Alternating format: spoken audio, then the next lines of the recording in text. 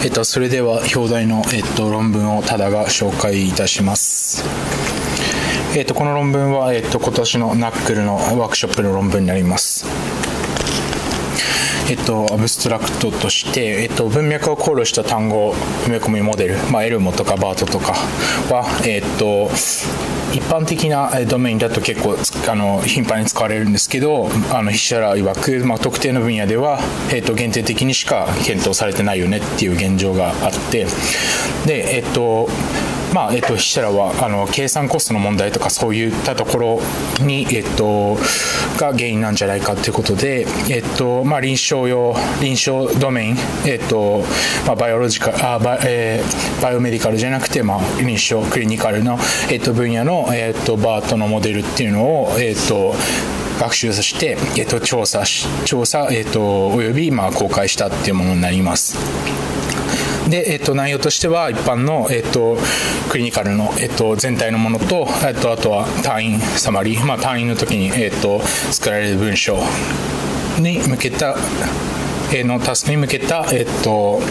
モデルを学習しています。学習して公開しています。で、提案モデルっていうのは、え、ー、と、3つの臨床分野の NLP タスクで、まあ、精度高いよっていうようなものになります。イントロダクションです。で、えっ、ー、と、先ほど触れたんですけど、まあ、エルモとかバートとか、えっ、ー、と、まあ、文脈考慮した、えっ、ー、と、見込み表現っていうのは、まあ、NLP のいろんなタスクで成功しているっていうところがあります。で、臨床テクストは、まあ、先ほど触れた一般テキスト、一般ドメインの普通のテキストだったり、えっ、と、非臨床、臨床ではない、えっ、と、バイオメディカルのテキストとも異なる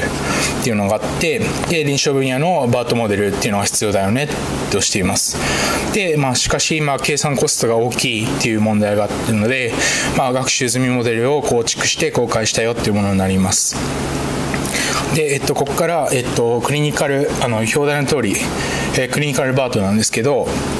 えっと、ベースにしてるのがバイオバートってモデルで、で、これは、えっと、バートの、えっと、ベースラージとあると思うんですけど、ベースのものに、えっと、さらに、あの、パブメド、えっと、論文の概、概、アブストラクトと、えっと、パブメドセンタルっていう、まあ、論文、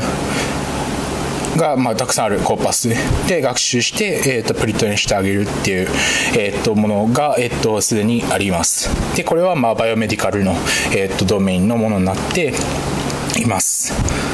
で、まあ、これも結構いい精度をあこの後にあのタスク固有のファインであのデータでファインチューニングしてで、まあ、結構いい精度を出しているっていうものになります。でこれを使っていくっていう形になります。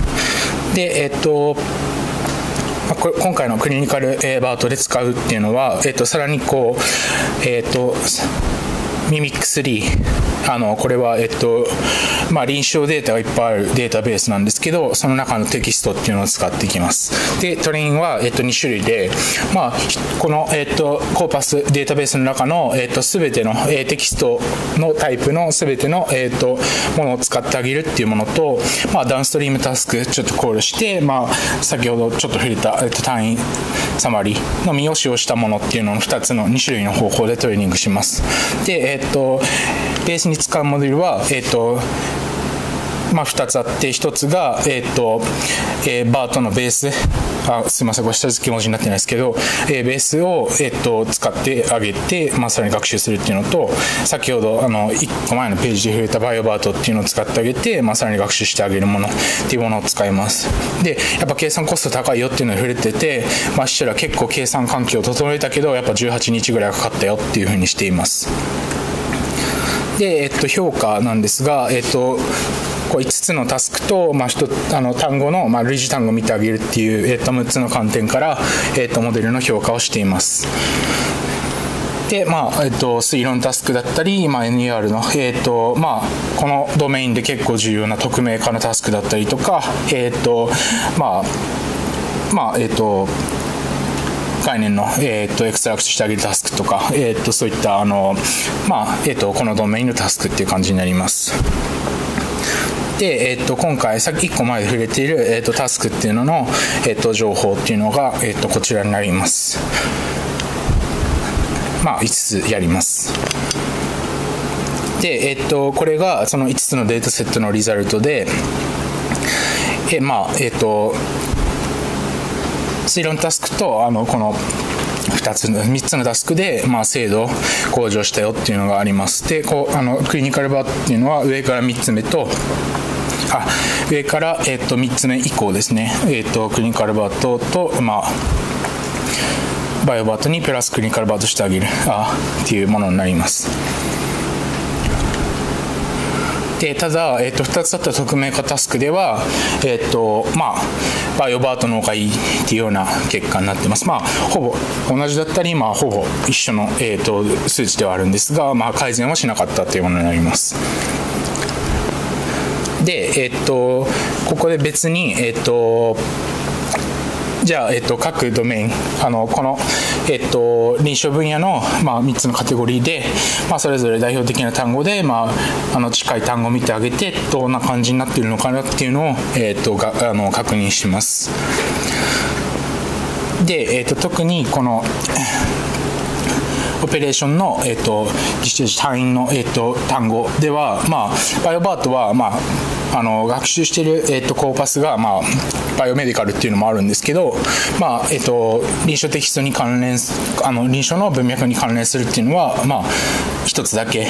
っていうのに対して、まあ、クリニカルバートは、まあ、精度のあの向上っていうのはあの1個前のところではないところもあったんですけど、まあ、ちゃんと,、えーと、文脈、えーと、この臨床分野の文脈を考慮した学習っていうのができてて、えーとまあ、3つの、えー、と最近もの単語を見たんですけど全部、えー、と臨床の文脈で学習あの取れてきてるよっていうふうにしてています。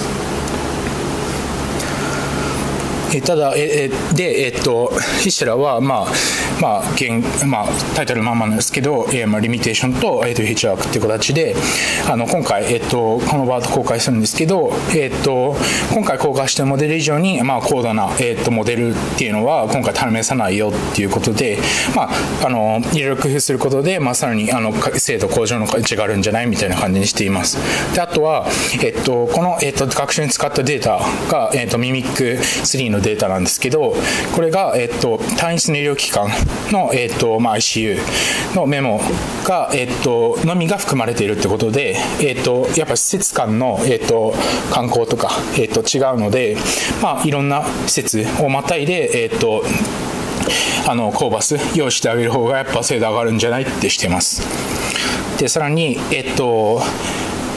今回、えっと、5つの、えっと、タスクで確認して、そのうちの2つの匿名化タスクっていうのは、えっと、改善されてないっていうのがあるんですけど、えっと、今回、えっと、もうちょっと、えっと、匿名化用に、えっと、ちゃんとデータ用意してあげることで、えっと、普通に改善するんじゃないみたいな話をしています。で、コンクルージョンです。で、今回、えっ、ー、と、臨床ドメインの、えー、テキストでバートモデルっていうのを学習して、えっ、ー、と、その、えっ、と、精度っていうの、性能っていうのを調査しています。で、えっ、と、クリニカルバートは、まあ、あの、5つの、えっ、と、タスクと、まあ、1つ追加で、えっ、と、まあ、再規模の単語を見るとかしたんですけど、その、えっ、と、匿名化のタスク以外で、えーと、精度向上っていうのが確認できたよってしています。で、まあ、臨床分野のテキストで学習済みのバートモデルっていうのは、えーと、これまであのないないのででさらにこの、えーとこのモデルっていうのが、まあ、学習にすごいコストがかかるってことで、まあ、これを使ってどんどん研究していきましょうっていうような感じの論文になっています。以上で終わります。